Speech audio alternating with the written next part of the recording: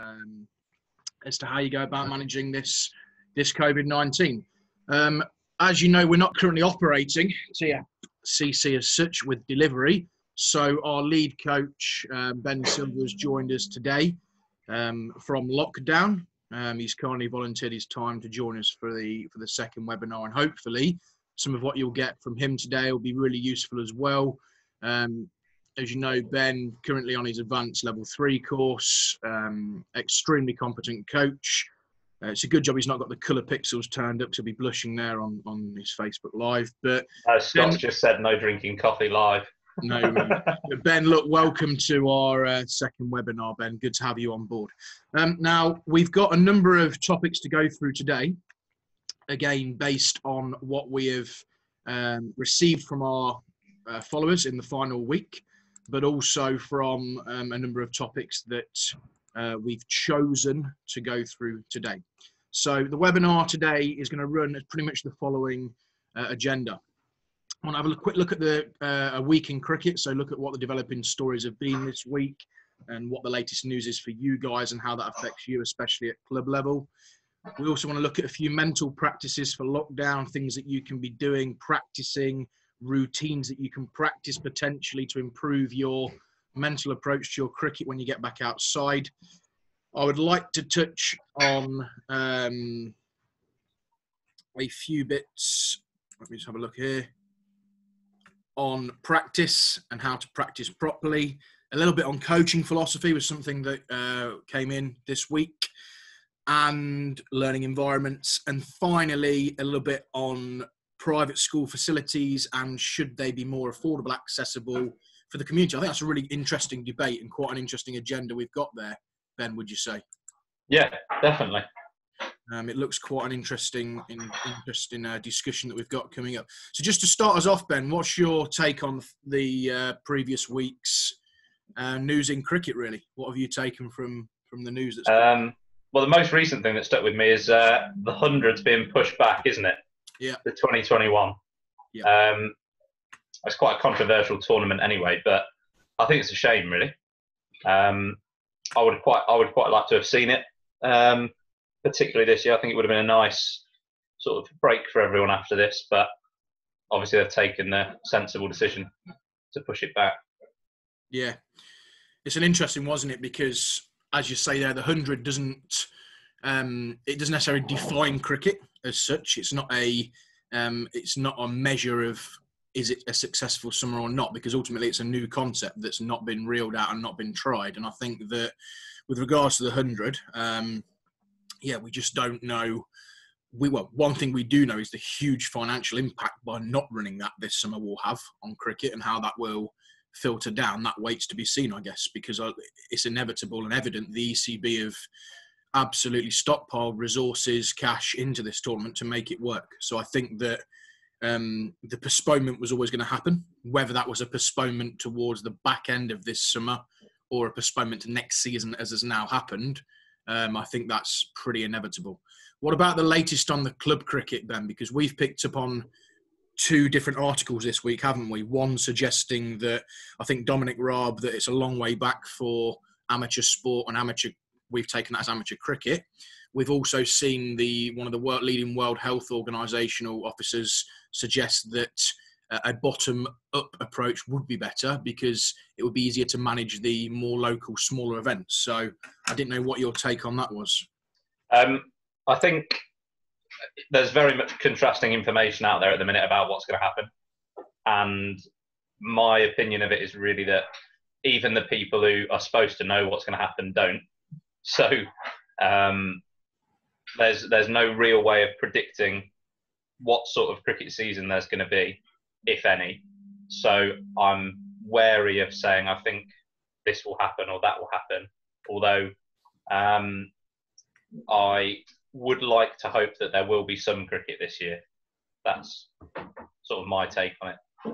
Um, and I, I, do think they're right in that um, a bottom up approach could be manageable, but at this stage, you just can't see anything happening, can you? No. It's tough to. I think it's tough to call all cricket off at the moment. I don't think that's Oh. a sensible approach. I don't think that that would be the approach that the ECB will either want or um, feel is necessary, more for morale more than anything. Well, I Uh, think the ECB should just wait until they're told by the government what to do. It's interesting. It'd be interesting to see how that goes. I am Until told otherwise. I'm reliably informed by sources close to their um, ECB that um, the hoops and uh, how can I put it restrictions and things that would need to be put in place to manage this, going as far as changing the ball every ball that you bowl, um, disinfecting players' hands between balls. Um, yeah, it's hard to sort of know where this where it would end, isn't it? At professional level. You'd, you'd have to you'd have to get away from that sort of requirement for cricket to start. I think. I think if you're still at a stage where you're saying to people that if you play with someone who's got it, then the rest of the team's got to self isolate for two weeks. If you're if you're still at that stage, then you can't do it, can you? No, of course you can't. Because because you could end up halfway through a four day game and lose the entire team. Yeah. it just wouldn't work. So you, you we've got to get away from that idea. It's not going people aren't going to be disinfecting their hands between balls. It's just not going to happen. If that's happening, then you can't play. Yeah. So, yeah. So I think, like I said, I think the ECB, the local cricket boards should just wait until they're told what to do when people know what's actually going to happen. It's interesting as well, isn't it? Because another thing that came up this week with the um, inevitably when there's a crisis or anything like that, there's always those who are there to take advantage of it, and um, we don't know much more about um, some of the things that have been going on regards to um, crooks trying to um, take advantage of clubs that are in situations where they're needing grants, etc. And you know, it's um, there are some there are some sick people out there that will use this situation to take advantage of uh, uh, to take advantage of, and that doesn't sit right with me either. And I think that that needs to be um, watched closely by club officials. And if you're in any doubt as a club as to something being legit or not, you know, get in touch with your county board, get in touch with those who are in the know, because you can't be, you don't want to be kicked whilst you're down, do you? So I think that's really, really interesting. Um, anything else from this week in cricket that we want to go through? Not I can think of, mate. No, it's been pretty, pretty cool. There's no cricket. yeah, well, obviously there's not. Um, obviously, from from a w- without plugging us too much, there's been a bit of a development on our front, hasn't there? We've got um, we're going to uh, stream out a few webinars in the next few weeks for you guys. So we've been lucky enough to secure. Um, what is an absolute legend that is Marcus Trescothick, who's going to be doing a Q&A with us, um, an exclusive Q&A, uh, questions that we're sending to him, um, a webinar that's only accessible to those who who log into it. So it's very much an exclusive, intimate chat with, well, I, I know from from my day, a, cricket legend from my era, and um, you know, as a as a 17 year old young batter going through that summer of watching him on that first day at Edgbaston in 2005 was just something else, and I think that. Some, that is going to be an absolute fantastic opportunity for any cricket lovers, uh, anoraks, badgers, just cricket, absolute. Uh, well, like we are, I guess, people who just love talking cricket. So I think that's a fantastic thing. Look out for that. May the seventh. That's a four thirty. Uh, we will give you some further information how you can get your uh, e-ticket for that later on. Okay, so let's kick off with this. We've got, um, we've got. Oh, I think we're up from last week. I think we've got how many's live with us today? Twenty something. Oh, Yeah, fantastic. Jamie Drake and Paul. Paul Yeah, I'm pleased, I'm pleased the guys are finding it useful. I hope they are. Um, there's a few questions coming in here. There's a few questions coming in, Ben. Um, so let's go through. Um, now let's let's come back to some of these questions later on. I think. I think what I'd like to do is go through our agenda because there's a few questions that I felt we need to answer maybe from last week that we didn't get around to. Yeah. Um, one of those was from uh, Ali Wall, who is uh, Kibworth Ladies Cricket Club. Uh, and Kibworth and, and Ali, sorry, was asking questions about um, sort of mental practices during the lockdown and things that you can be doing. So uh, I looked at, I actually looked at this this week and thought, well, there's a few things as I see it, mindset wise, that you can can be working on. So from a very simple start point, there's two top there's two types of mindset, isn't there? That and I think it's very relevant to this COVID lockdown. Fixed mindset. So that's this is the way it is. That's the way it's always going to be. No matter what I will do, no matter the efforts I make, no matter how I how hard I try, this result will always happen. I'll always get what I've always had. Okay, very fixed, arguably seen as quite a negative mindset. The opposite of that is what we call the growth mindset, and that's believing that hard work is uh, rewarded through effort and therefore performance, and that seems a positive um, mindset. So I'd encourage anyone that's watching this to a question what type of mindset have they got. Now, um, interesting because you can have different mindsets for different aspects of your life. So um, in life, sometimes I think I can be quite a fixed mindset, which I'm self-aware of. Um, I think with with cricket and certainly a coaching front and, and back as a playing front, I probably had very much a growth mindset, which was if I worked harder, then I'd get a reward for that. Um, again, both have their positives, uh, but both can have their drawbacks, particularly on the growth mindset. If you're a perfectionist or if you have some bad luck or if things don't go your way, um, it's, it, you can lose faith in a growth mindset. Um, that said, a fixed mindset, whatever happens, happens. Every dog has its day. It could be your day. And you can say, well, that's what I've always done. And it works. If it doesn't work, it doesn't work. But the general feeling is that by being open to that idea of a growth mindset, that the harder you work, um, the better results you get. I think is a, is a decent start point. So I'd encourage you guys to think which one is you. Um, there are five basic things I think as cricketers that we can all do to improve mindset, either on the field, in practice, before, during, in between games. Okay. First one of them, pre-performance routine. Now, uh, you'll see. I'll ask you, Ben. Here, who do you think? Who, who at world-class level do you see an extremely um, extroverted pre-performance routine? Have you got anyone that you know? Good question. I mean, I'd say Steve Smith. I think his routine is absolutely there for us all to see. Um, if you watch the um, Australian, the, the test that came out on Amazon recently, uh, other platforms are available. But if you watched um, Steve Smith recently on that, he talks about tapping his left leg, tapping his right leg, tapping his box, tapping his foot twice, looking up, chin down, looking up again. It's an extreme example, but he knows once that routine is done, he is then ready to face the ball. Yeah, I'd say with him as well. It's it's probably not something he's aware of. It's probably something he does before the ball, and he just does it. He doesn't have to. It, it's ingrained in, in every every ball that he faces. He doesn't need to think about doing it which so, ultimately you'd argue then it becomes a um, almost a subconscious routine, and you can argue that he's done it that many times that it becomes um, natural to him, doesn't it? In a way, mm-hmm. he's worked on it uh, long enough. But I think that the point with that, that's an extreme example. Uh, let's look at a let's look at a different example. Someone like Jofra Archer.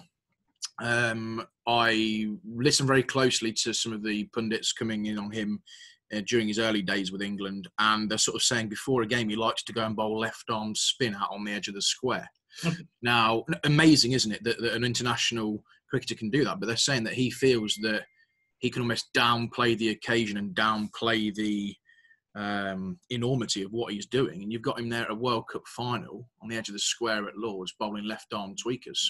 And you sort of think. You not think that's just an enjoyment thing? I think it is, and I think that fair play to the coaches who, who yeah. are around him because I did hear um, you did hear from pundits and from people around the coaching camp there that they were allowing that to happen because they knew he needed to be in that mindset to be enjoying it. It's a bit like let's look at it a club cricket on a Saturday who doesn't particularly enjoy warm up. They might be prepared as they see it with a cup of tea and sticking their feet up reading the paper. Now, we're not advocating that um, in any way, but there has to be here an element of what works for the individual. I think from a coach's point of view, if you can embrace that individuality, and it takes a long while to get there. I'm now early 30s, and in my early 20s as a coach, individuality for me wasn't a big, big point. Um, I, I had a certain way that I think that's the way it should be done, and I think it's based on the way you played as a player. That's how it should be done. These are my expectations. If you steer away from that, that's not good enough. Um, and I don't know. I mean, Ben, you're you're probably ten years behind that. Um, sort of when I was coming through early twenties. How would you see that from your side, Ben? Um, I think providing it's, it's something that's yeah, providing it's something that's consistent, I probably wouldn't have a problem with it. It's, it's if people started using that to take advantage of not having to do stuff properly, I don't think that's right. Um, like I suspect that Jofra still does all the fitness tests, all the proper warm ups. He's probably still one of the best athletes in the squad. So providing he's ticking all those boxes, go and bowl left arm spin in the warm up. Do, do you see what I mean? Yeah. Providing he's getting all of his proper processes right, then him messing about on the square before a game isn't really a problem. Um, but if he was doing that instead of warming up properly, then that might be an issue. Interesting. So, talk about pre performance routines, something that's repeatable, something that's consistent. It could be on the field, it could be before a game, it could be in between balls. Anything, though, that can be done consistently that doesn't rely on too many variables. And I'm going to leave you with a little thought here. Um, I worked with a guy a while ago who had developed a routine before a game that involved having a net and a performance in a net. Now, that's great. Got to the ground, the nets weren't available. They were locked, I think. What do you do then? And I think that it's really important that whatever routine you have, that not necessarily it has to be you can do it wherever you wish, and it doesn't have to be that flexible. But you almost have to have to know within yourself that if I can't do that routine to the to my full capability, then can I still take confidence from doing plan B, option B? Can I still? So A, you need a uh, sorry. So so number one, you need an option B, and then number two, do not lose confidence from having to do option B. Take it as a positive that you've been able to adapt. Okay. Um, other ideas to improve mindset, mental mental toughness, as you call it. Um, try when you're when during the game try and take each ball as an individual event. Speak about this a lot, but I often say to the guys that I, I work with that if you score 100, that might be off 100 balls. That's deemed as average to slow these days, actually. But um, let's say as a recreational club cricketer, we'd be happy with 100 off 100 balls, definitely. Um, that's making 100 separate individual individual decisions well. That's it. That's all it is. 100 decisions. That's all you've got to do. When you look at it like that, the idea of scoring 100 all of a sudden isn't as daunting. Um, and it's the same when you bowl. If you're bowling under pressure, end of an innings. If you're thinking about bowling six Yorkers and you're standing there at ball one, oh. But if you take each ball at a time, look no further than that, that's a really good way of, of maintaining your, your nerve, staying calm, and making sure that you're mentally prepared for each different facet of, of that over or that game. Okay. Um, final thing that, oh, sorry, two more things I want to talk about here before Ben, if you've got anything else. I think one thing that all young players should be encouraged to do is anything they perceive as a as a threat. So it might be a nasty, fast, short bowl, or it might be um, some form of sledging, for example, if they're coming into senior cricket, or it might be a, a, wicket that's doing all sorts. You know, you come in at 30 for five on a green seamer. How many of you guys look at that as a threat and, and look at it from that, what we say, the fixed mindset? And how many of you turn that round into a challenge and go, actually, I'm going to be the one that, that takes this on today. I'm going to be the one that finds a solution. I'm going to be the one that can solve this challenge and stand up for the team.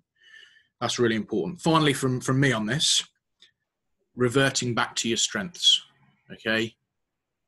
There's a saying, and it's a, it's a, it's a true saying, and it came got passed down to me from one of my coaches. It was from David Gower had said it to my coach, and he said, I think Gowra got out for naught, okay? And he said, look, I've got runs before and I'll get them again. And that was his take on it. Okay, then probably reach for a bottle of red. But the point being that you do what you do. If it's brought you success in the past, it's going to be a strength of yours. And if you can stick to them strengths, take positives from them strengths, and ultimately know that through a combination of hard work, practice, focused practice, that you can rely on them strengths, that when it comes to it, when you're under pressure, when you've got that threat, when you're in a high pressure situation, that your strengths will kick in. I think that's a really big thing as well. Especially we get asked a lot of questions, don't we, Ben, about you know scooping as batters. Shall I scoop it? Can I look for the ramp? Great if you've practiced it. And I think the key is when you're under pressure, if your go-to shot is to hit it into the sight screen, hit it into the sight screen. If your go-to ball is a wide Yorker, bowl the wide Yorker. That is not the time to be moving away from those strengths. Ben, have you got anything on that? Yeah, just that last point you made there about um, what what Gower said. Um, to me, that that's quite a good example of someone who clearly is able to grow and develop their game, but is still fixed on their confidence levels. Basically, so they're yeah. still able to be fixed on the fact that if there's a failure, they can revert back to past success. Yeah. Um, so, I, like you said before, it's, it's good to have access to both aspects of your mindset in a way. Mm.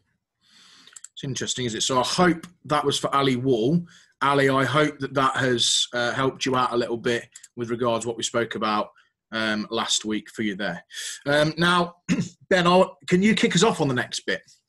It's an interesting one because obviously you're you're probably playing a lot more than than than what None at the moment. If our coaches do these days. So, or no one is at the moment. But um, just talk us through your views on practicing properly. I think that's that's a topic that's come up about practicing properly. Do you yeah. give us your opinion on that? Um, well, I guess it's it. It depends what you want out of your cricket, really. If you're someone who wants to play purely for enjoyment and not be too concerned about how you're performing, really, because there's plenty of cricketers that play Sunday cricket and, and aren't too fussed about anything but just playing with their mates. Really, if you're um, one who wants to play purely for enjoyment and not be too concerned about. Just heard myself talk. That's strange. Warming, really, because there's plenty of cricket. it came out of your computer, didn't it? Sorry about that. Um, I think I think if you're one of those cricketers, then your practice may also be for enjoyment. So I wouldn't be too concerned about it. But for those looking to develop their game, um, so most of well, so most of the players we work with on a regular basis, um, obviously not at the minute. Um, I think the tendency at times is to revert back to old ways. So going into the nets, trying to hit everything out the net, trying to whack it as hard as you can. And I think a big thing for me when you when you're practicing is that the toughest part of any batter's innings is the start of their innings. And I think every time you go into the nets, you have the chance to practice the start of your innings. But we see a lot of players go into the nets and bat like they're already 40 not out. Um, so I think on practicing properly, from purely a batting point of view, when you go into the net or a training session or whatever, you, you start as if you're starting in a game. I think that would be the, the biggest benefit for most club cricketers. Mm. Is starting from well, saying they're on zero every time they go into the nets rather than trying to drive the first ball up a length. Mm. Yeah, there's a lot of bravado, isn't there, and sort of um, can be quite a macho culture around netting with lads. And I don't know about yourself, but the thing that infuriates me the most is, you know, someone that's just determined to hit the ball out of the net at whatever opportunity they get. And I don't think yeah. I quite understand the concept and context of. And, you know, and also, yeah, go on from from a, a bowling point of view as well, if if you're um, just purely trying to embarrass the batsman by getting him out in front of your mates, that's not that's probably not going to benefit anyone's game. I mean, if if there's a, a, genuine competition and you've set a field and you're doing it properly, then fair enough. But I think often people will go and play in a certain way in the nets because a they either want to whack it as hard as they can, um, or b because they're so concerned about getting out to their mates. Particularly when you're batting against spin, I think sometimes you know you do worse. You go into a net sometimes. You say right, well I'm just going to sweep every ball because I want to work on that shot, and I believe that every ball that this particular bowler bowls to me, I can sweep it.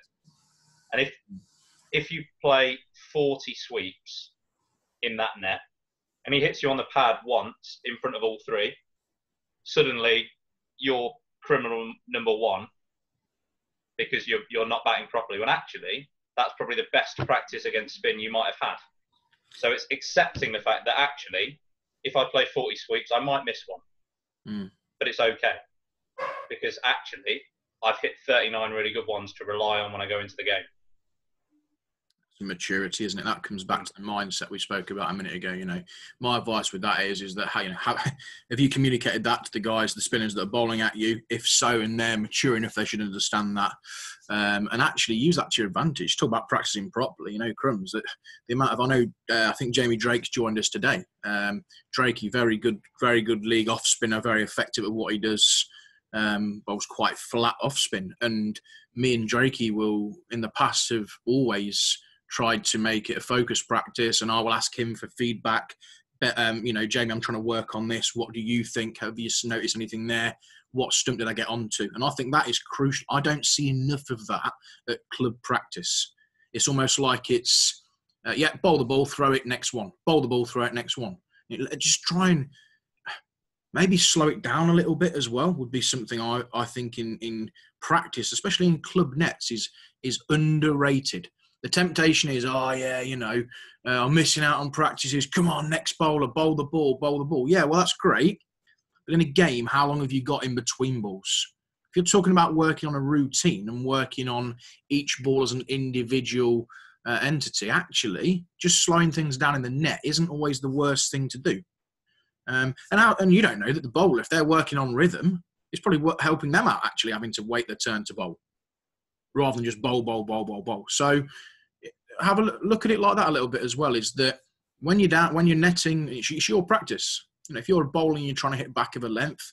Let the batter know what you're trying to do, so that he doesn't think you're just trying to hit him on the head or chest every ball. So we've all been there with guys like that, haven't we? Um, anything else on practice, Ben?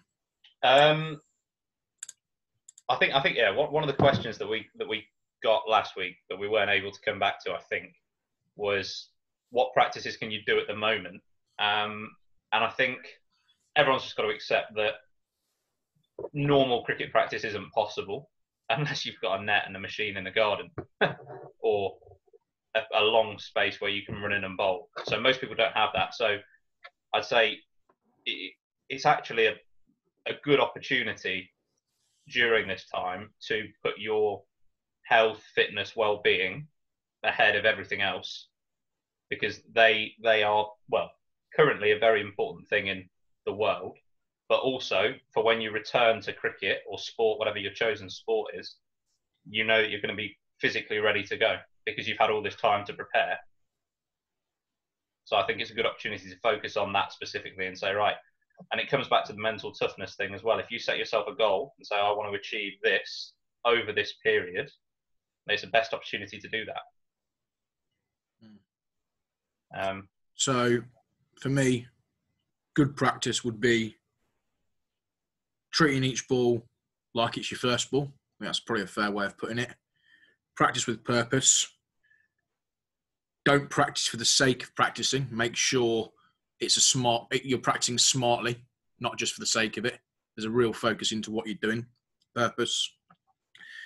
And take time to reflect. Doesn't have to be formal. Doesn't have to be written down. But it could be whilst you're packing your kit bag away. Everybody has to do that okay, what did I do well there today? What could I've got better at? Did I communicate my goals to, to a teammate? Could I? Yeah. And I think they're key conversations. That said, bad practice, I see it all the while um, in the nets, no pads, just gloves, um, with your mates, flip flops, wasting times before session. So, you know, your coach isn't there. Let's do load of keepy uppies. That's practice time that you could be doing 20 catches in each hand. uh, and obviously poor preparation for sessions. So making sure that even if you're fortunate enough as a as a club cricketer um, to have a coach to have a coach, there's still a lot. That doesn't mean that they're going to do the work for you. It means that that they put a structure in place, but your personal prep is stuff that only you can do. Um, I think it's a good a good time, Tom, to come on to a couple of questions we've got here. Yeah, who have we got with us today? I'm just having a look. Um, so I got a question from Michael O'Connor. Okay. Um, what would be the coaching basics you'd need in your kit bag to coach um, age group cricket for a group of 20? It's an interesting question. Okay. Um, the basics of a coaching kit bag is that what we're asking? Essentially, yeah. Um, okay, so for me, basics of coaching kit bag really quickly. Um, load of cone stack, uh, cone stacks. You can do loads of things with that to set out your areas, set out different parts of the session. Um, two to three spring back flexi stumps would be ideal. Um, I'd look at some form of warm up ball, whether it be a reaction ball, whether it be a Nerf ball, just something that's going to get the hand eye going to begin with. Um, potentially marker discs, I think, are very useful. Can be used for batters' footwork, can be used for field placings, can be used for bowlers, uh, marking the run up, setting the um, uh, alignment, etc. Uh, probably have a hurdle in there at some point because again, you can use that for bowling Yorkers. You can use that for throwing drills at the base of the stump. Um, anything else? I'd, I'd have a catching mitt. I think that's really crucial to get good at as a coach. Is getting your mitting good. Um, and yeah, just obviously the I mean, first aid kit goes without saying that has to be in there. Um, but yeah, that's that's pretty much what what I'd have. Have I missed anything there, Ben? Maybe just a variety of different types of balls as well, because yeah. obviously with a group of twenty, if you're working at an age group where uh, there's guys who may be different, slightly different levels, standards, etc., I don't think that one ball for each is always you know the exact same ball. If you were in a class of 20, 10 year olds, would they all be set the same work? No, they wouldn't be. They're working at different levels. So I think as coaches, don't just chuck the tennis ball, chuck the wind ball straight out with your 10 year olds. They might be ready for a cricket ball. And that's where, as a coach, your art of working out who's where and, and what that player needs is crucial and then communicating that to your fellow coaches. Is there anything else on that, Ben, that you'd have in your bag? Um, Probably an old pair of spikes you've not washed for two years, I should think. Like banana skin. Um, yeah. Steve Flowers, yeah, go on. Man. No, not that I can, not that I can think of really. Um, I, I, I, guess with a lot of the a lot of the work that coaches do with junior cricketers sometimes can become overcomplicated by flash bits of kit. Um, so keeping it simple is probably well, it's refreshing. I think if you if you can run a session with a few bits of kit, still make it enjoyable, and not have to make it about using certain bits of equipment. It's like the classic get the bowling machine out as soon as someone wants to bat without really, really considering the purpose of it. Um, Interesting. That's just one example. Um, and we've got another question now, unless you've got anything to add on that one. No, I'm just looking what the next question is. So, so I'll, I'll go. We can combine these two, can't we, from Cell Sports and Nick Beggy, I think, Ben? They're sort of. I've not seen the Nick Beggy one, but I'll, I'll come down to it. Um, so, CEL Sports, do you think multiple T10 games on match days could be the way forward this summer? Um, and clubs are already talking about that idea. Um, yeah, I mean, look, if that's a way of getting some form of cricket in, then obviously I think some form of cricket is better than none. Um, you if you're going to do that, you, you you take it for what it is, don't you? Which is T10 cricket. It's a complete lottery. Um, yeah, if that's if that's what if that's what it comes down to. Now, the only the only thing I the only thing I see with that is what is the purpose of that? Is that to reduce the contact time? Is that to reduce? I, I think what um, games in the day. I'm not sure what. I think I think the point is that if the season is cut less than half, yeah, where you can't get every team playing each other at least once in a 50 over format. I think we're talking about club cricket here. Yeah. You can't get each team playing against each other at least once in a 50 over format. How do you get them to make sure they play each other once? I assume that this is considering that we've already gone for the idea of T20 and the season's even shorter than that, so it's not possible. because oh, you you originally you'd look at the similar format to how T20s have worked in the past on Sundays with three games on a day at one venue. Mm. Um, and then I'm assuming that if the season was cut so short that that wasn't possible, what um, what they're saying is would a, a, number of T10 games on a day work? I don't think. I think it'd be more of a fun thing for people. Is what what is what he's saying. Um, I think there's a real option to to think outside the box this summer. Let's say I think this comes on to Nick Beggy's next question, really about you know, if we start on the fourth of July and have a full half season, should promotion relegation be scrapped? Well, you know, I I think that you know you set yourself up for a season of cricket, and there is a saying, isn't there, that the table doesn't lie at the end of a season.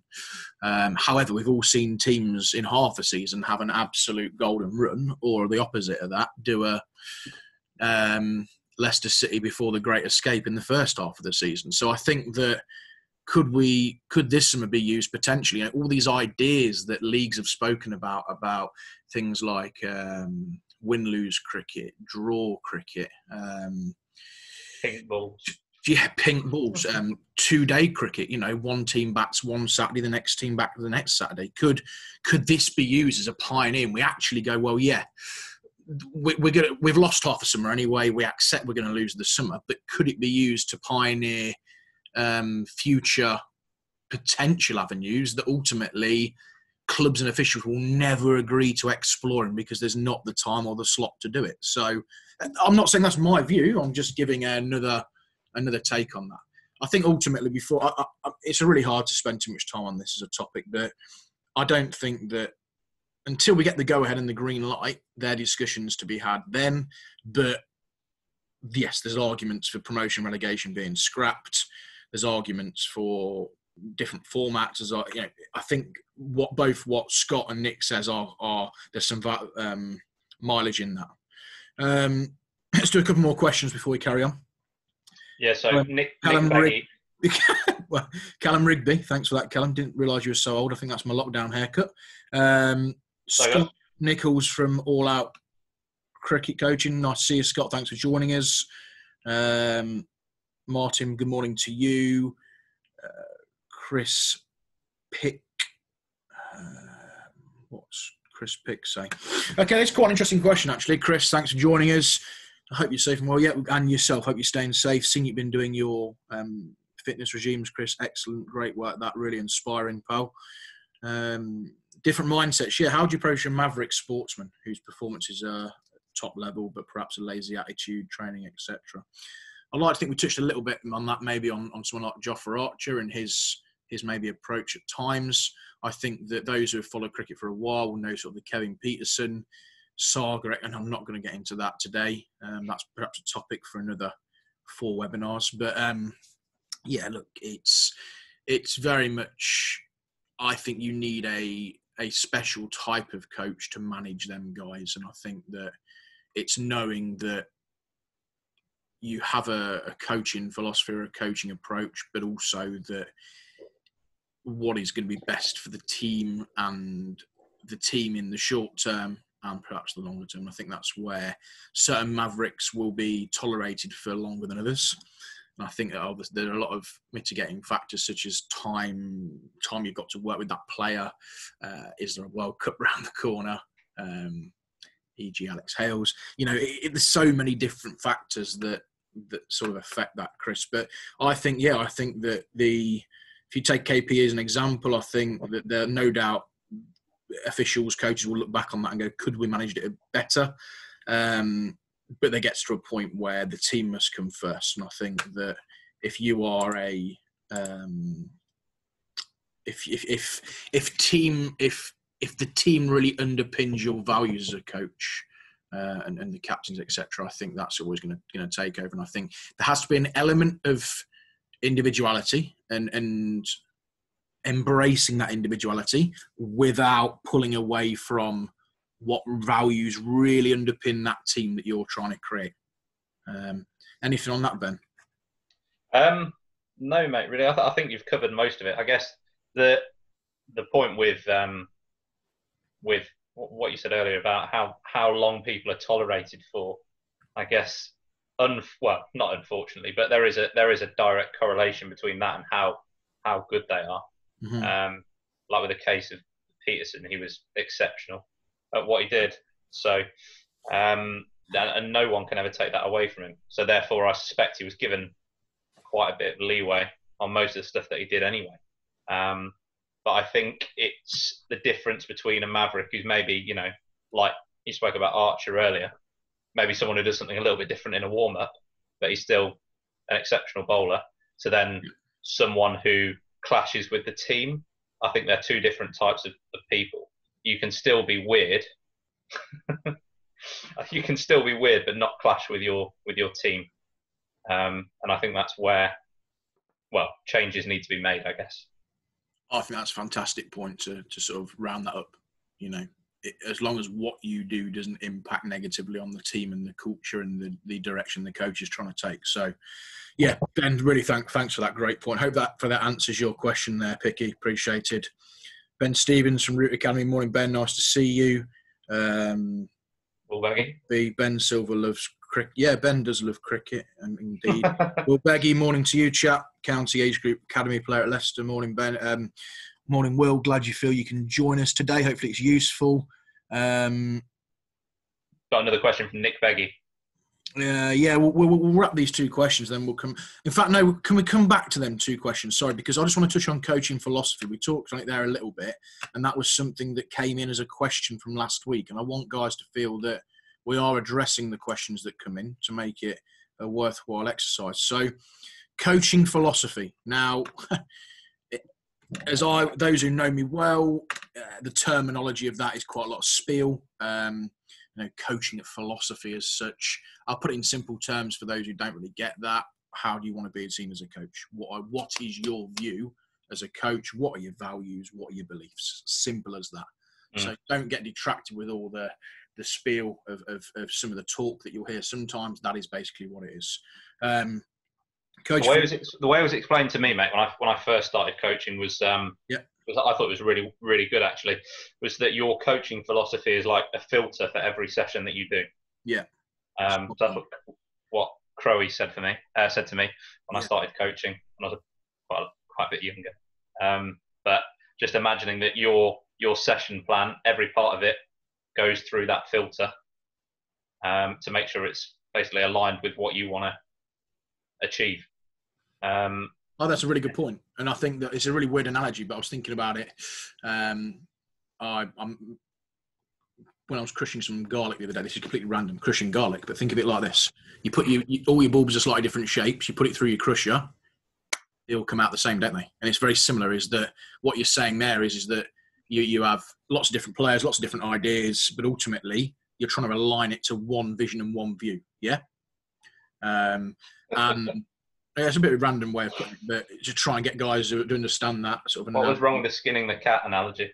Nah, per- perhaps not um, animal welfare and all that, Ben. Um, so philosophy is about what your beliefs are, what your values are, what your principles as, as a coach are. Now, inevitably, that's most likely to be shaped by a combination of your experiences to date as a player and as a coach, whether you've watched sport, whether you've read about sport, and that will all shape what beliefs you hold in, in the highest possible regard. Okay. Um, and it gives you that driver as to what you what you believe as a coach and what your values are. So I'll share my philosophy in a minute, but I just want you to think about you guys that are watching to think about these questions. Okay, why do you coach? Okay, what your motivations are for coaching and why you got into coaching, how you want to coach and go about your business, and how you want people to view you. Okay, they're four key questions to consider before thinking about philosophy. Now, my philosophy. Let's pull this up. Um, I don't. I don't need to read this out from from from my notes because I know what it is, and that's about maximizing each player's potential through a combination of hard work, through simplicity, and through enjoyment. And I'm comfortable with that philosophy. That's been my philosophy now for probably 12 years, and it's been shaped slightly. And I can go into a lot of detail, but that's a condensed version. Maximizing potential. I want players who work blooming hard, Okay, I want to keep it simple without overcomplicating things. And if you can enjoy it and that can underpin all that, you're heading in the right direction. Yeah, I, th- I think that's. Sorry, I that, yeah, I think that's really good, mate. And I think most coaching philosophies, when when it boils down to it, come they come down to people having fun, getting enjoyment out of the game, people improving, and people putting in the hard yards. I think that's regardless of what way you word it. Generally, that's what you the outcome that you get. And I guess the amounts that you you push those different aspects of your philosophy depend on who you're working with. So with a group of ten year olds, the most important thing in that um, in that session is probably the enjoyment aspect for you. Is that right?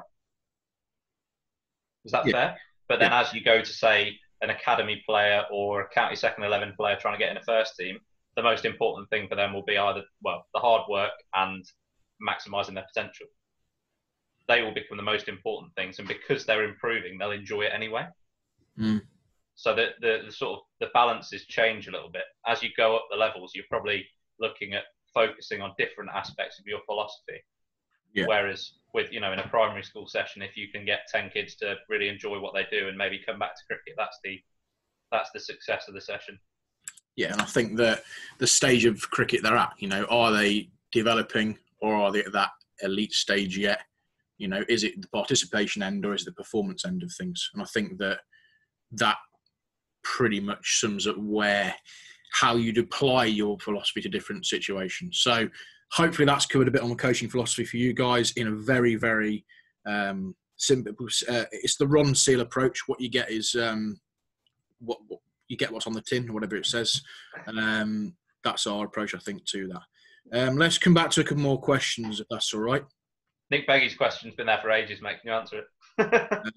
um, in younger in age younger age groups, the mix of ability is always a big issue. How do you deal with that? Yeah, I think that's something that in in a sport like cricket, Nick, and I think this. I don't know if you managed to touch in last week with us, but um, I sort of directed a little bit of feedback towards Michael on on the rugby analogy, and hopefully others got a little bit out of that. And I think that those who who play rugby as well as cricket or football as well as cricket, they understand that it's very a lot easier in a game like that to be able to manage the large groups because everyone's moving, everybody's doing. It's not so skill isolated as such with standalone skills being done. I think, in real simple terms, Nick, to get this right, it's about not being afraid to group your better players uh, not being afraid to grade it with your players, setting appropriate challenges. Always have up your sleeve as a coach the next thing. Always have the next level of that drill, of that challenge. You know, don't don't let the player catch you out by you not having that next um, extension task almost to what you want. I think that's a good point, mate. And um, I guess when, um, like you say, they're always having the, the next thing in mind is probably one of the most important things because if if something's not going the way you want it to go, you, you can't be afraid of changing it. Really, you could you know we've all we've all done it. We've all set up a session, started it, gone actually this might not be appropriate for. Now I've started it, I've realised this might not be appropriate for the best player, or this might not be appropriate for one of the less able players um, of this age group. And it's being comfortable and confident in what you're doing to go, actually, lads, we'll hold that there and move on to something else. Crucial. Um, hopefully that answers that for you, Nick. I'm aware we've probably got about seven or eight minutes left, just just around that. So I want to get through, through a few more things. Next one's uh, Jack Wood. Yeah, good work, chaps. Any more guests lined up for webinars? Yeah, like we said, we've got um, next uh, Thursday Marcus Trescothick, who will be joining us for a um, Zoom webinar. And as we said, you can get your e-tickets for that. We'll explain how that works at the end of today's session. Um, but yeah, and there's a couple more also that we've got ready for you um, also to join us as well. So hopefully that'll be really useful. Uh, another question ah, from from one of our sort of affiliate coaching families, Eleven Cricket Coaching. Um, Paul Allen, thanks for that. I know Paul really well, great guy check out Eleven Coaching if you can, guys. He put some great stuff out there. Guys, morning. Hope you're well. I have two questions. What got you into cricket, and what's the best advice you can given as a player and as a coach? I can answer that very easily. Um, very much for me, um, the classic story: family. Um, dad played cricket, uncle played cricket, granddad cricket badger. Um, yeah, so I was born into it, and I think that that is a very easy way to get into cricket now. Um, on the flip side of that, it, it does make cricket sometimes hard, harder for kids to catch the bug if you're not come from a cricketing family because of the time and the and the nature it takes um, up, you know of your life how much time it takes. Um, so i think that, that that's crucial. Um, but it doesn't mean it's not the be all and end all i think there is some extremely um, uh, knowledgeable and supportive cricketing parents who um, is what every club needs. They need them guys to get stuck in, and I think that that's really important because the guys that do get into cricket that haven't got family um, that have played, it's fantastic because it shows that it's probably done with all the best intentions because them parents have not got a, a playing agenda or anything like that. They're probably doing it for the love of the sport and love of, the, of, of their kids that are playing. So I think that's that's always great to see. Um, um, what's the best advice I've been given as a player? Um, probably to uh, as a player. I guess be the one to be the one to to stand up and, and try and do the job. I guess it's it's very easy to look um, very easy to look at others, isn't it, and expect them to do the job. But if everyone does that, the job doesn't get done. So be the one who wants to stand up. Uh, and secondly, yeah, like I alluded to earlier, just back back yourself, back your ability, and back yourself, and um, riding out the bad days with the good, and knowing that good days will come around the corner. And I think that is so easily said. And I think that I would love to be able to apply that attitude of 10, 12 years on now, 12 years ago, because the old saying, is it knowing what I do now, but knowing that the be all and end all isn't nicking off for naught. And I think that yeah, just knowing the best players you see that survive over time and have, have carved out a long, um, elusive career almost is those who have rode out the, the, the low points and the good points. Ben, do you want to answer that for you? Yeah, yeah. On that point, I'll just I'll just answer this the small part of that that you that you, I don't think you've covered um, because I think you've covered what got you into cricket and the best advice you got as a player. I'd say as a coach, then following on from what you said about the best advice you received as a player, when it comes to backing yourself. From a coach's point of view, then I think one of the best pieces of, pieces of advice I've received, and um, I know many other people have as well, is just that if, as a coach, the only thing you do um, is make someone more confident about their game, that's not a bad thing. So I'd say it's, it's okay to do sessions where you work on people's strengths and make them more confident in delivering their, the skills that they're already comfortable with. Because, like you said earlier, when when the pressure comes on, you want people to revert to their strengths rather than trying something they've never done before. Yeah, that actually just rang a bell in my head. I think the best advice ever that I've been given, and and, and was one of my earliest coaches who said to me, "Tom, you're a good player. Go out there and play." And I think that how simple is that, Ben? You don't need to read books or read you know, do elaborate courses to be told by someone you respect who knows your game inside out to be able to say, look, Tom, you're a good player, go and do it. And I think that is a massive, massive confidence boost for any player who's been in that position. Um, just coming back to yeah, just coming back to the point. Um, Michael O'Connor's raised something important. I think it's worth raising. Um, I made a point earlier about not being afraid to change a session if it's not going if it's not going well.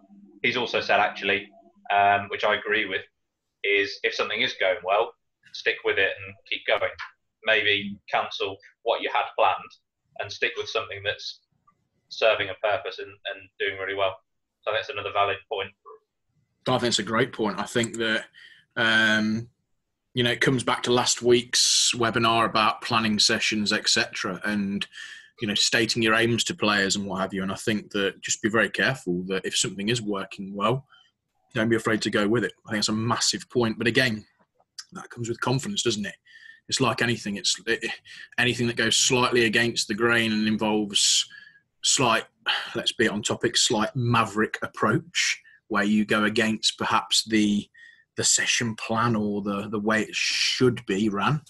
Um, you know, uh, but, but good good coaches will recognise that. I've seen coaches assessed or coaches advised that have, have, have, moved away from the plan or their timings. You know, they they spent 14 seconds too long on one activity. Well, look, I mean, it's you know, for me, that's not coaching, and I think that. I think one of your strengths as a coach, Ben, if you don't mind me saying, is the fact that it's that ability to adapt. And um, you know, I've learned a lot from when you coach, and you know, if something's working, it ain't about you as a coach. It's about the player and getting the most out of them. And if they can do that, if you can do that and and be confident enough in your own delivery and ability to go, actually, no, this is working, so I'm going to carry on doing it. That, that for me is absolutely huge. Got another question um, from 11 Cricket Coaching, Tom, as well. Um, thanks for your time uh, and answering the questions. Uh, are you wearing any pants? yeah, cheers for that, Paul. That's appreciated. um, look, guys, I think that brings to an end our session today. I hope that those who have joined us have found it again useful. Um, as we said, we've got a few things coming up. So next um, next Thursday, we've managed to secure, uh, as I said, an exclusive Q and A with Marcus Trescothick. Um, doesn't need any introductions really. Um, Marcus is a is a pal of mine from from the coaching side of things and he's agreed kindly to to do this with us. Um, if you feel that would be beneficial, please do join. Places are booking up quite quickly, as I'm sure you'd appreciate.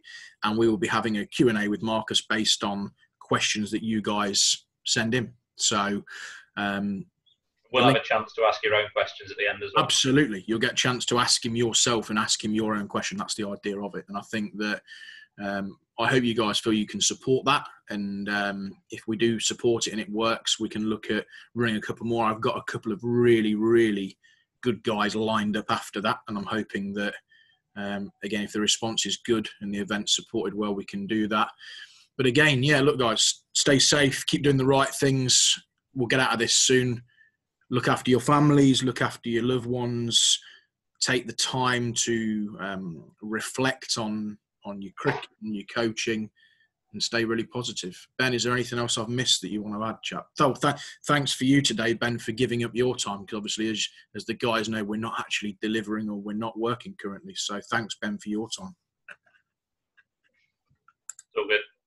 Yeah. Anything else? Are you happy? All good.